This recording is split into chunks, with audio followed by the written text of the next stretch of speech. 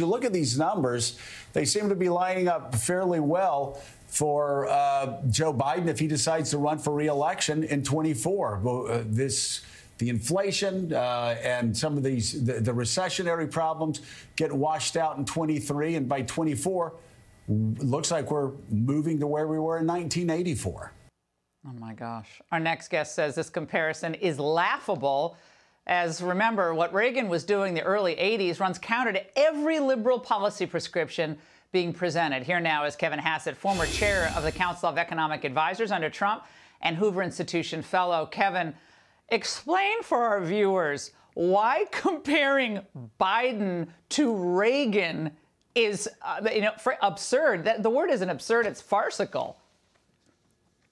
Yeah, it's it's an absolute joke. The the bottom line is that Reagan came in with lots of inflation just like Biden. But what he did or you know Biden kicked it off with his spending. But what Reagan did when inflation kicked off is he had a supply side tax cut so that there was more supply and he cut government spending uh, he cut non-discretionary spending by 23%. And what Biden's done is he's hiked taxes and he's increased government spending. So he's feeding demand while he's killing supply. And that's going to make inflation worse and worse. And so you know that even liberal economists are saying that inflation isn't going to get better anytime soon. And so the Morning Joe guys just, you know, they're not really passing an economics class right now. Mm, yeah. Well, Biden's deputy Treasury Secretary says everything's pretty much peachy. Watch. We feel good about the strength of the U.S. economy. We still see a great deal of momentum in the economy in terms of consumer demand is still strong. Uh, over the course of the last few weeks, I've had a chance to sit down with CEOs who tell me that from their perspective, they're still getting orders from consumers, from other businesses. They feel good about their order books.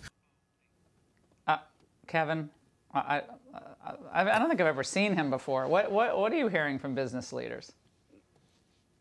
Well, you know, business leaders are afraid that there's a recession coming. And, you know, we just got retail sales data that said that retail sales tanked in November. And it's true that in the second half of the year, we're not going to have a negative half like we did the first half. We definitely had a recession in the first half of the year.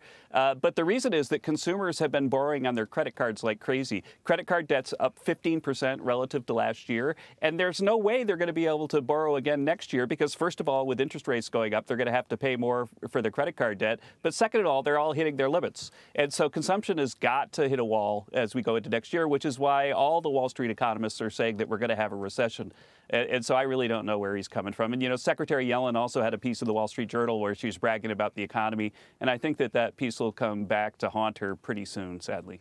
And Kevin, uh, you and I talked about this on my podcast, but I want to I want to expand on this because your point about what Republicans, especially in any sane Democrats left who want to save this country's economy, what they should be doing rather than this omnibus bill, as hard as it would be PR wise in the short term. Explain that for the viewers. So what the Republicans need to do is they need to have a, a you know real, real hard look at shutting down the government and cutting spending enormously the way Ronald Reagan did. You know, the House has the power of the purse, and people are going to say when they do that, hey, you, you know, you can't really uh, threaten you know, the debt of the U.S. with, with the shutdown. Oh, that's so scary. It's so irresponsible. Well, how irresponsible is it that we now owe a whole year's GDP, you know, mostly to the Chinese and other foreign investors because of these reckless policies? And under the CBO forecast, it goes to two GDPs, two years of GDP oh relatively gosh. quickly. And so I think it's irresponsible to spend the way they're doing, and it would be irresponsible for Republicans to play along with them. All right.